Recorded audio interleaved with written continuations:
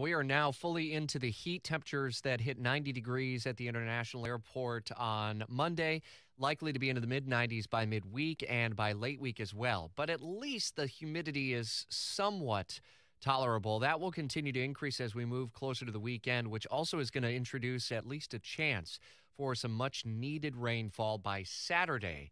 It appears, however, that we cool it down again as we see the wind shift off the Atlantic for Memorial Day. So, first alert for early in the holiday abbreviated week at least. Uh, we're going to be a little bit on the cooler side, and we may still have that dangerous rip current risk. Chief meteorologist Mike Buresh was reminding us in his uh, daily weather podcast, which you can always get in the WOKV app, about uh, the dangers of rip currents as we saw two lives lost uh, in the waters of Jacksonville and Nassau County, Fernandina Beach, just over the, uh, about a 24 hour period, and 44 water rescues in the city of Jacksonville by lifeguards just over the weekend. We're headed into a busy beach weekend, and with the onshore winds, that does create a little bit of a concern and a heightened rip current risk over the holiday weekend. Still have a heightened risk for uh, wildfires to develop as well, given how dry it is. We'll continue to follow that story. The big story that we're following for you is the superintendent of schools in St. Johns County and his reaction and apology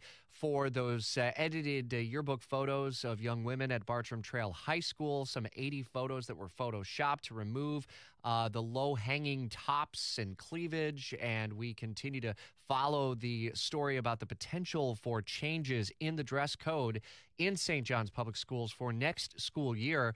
A workshop set for Tuesday will be kind of a catalyst for ongoing discussion during the summer months. We'll be plugged in for the story throughout the day, and you can follow along in the WOKV app. It's the one year uh, mark of the death of George Floyd, and throughout Minneapolis, uh, multiple ways to commemorate the event, the death, and celebrate his life.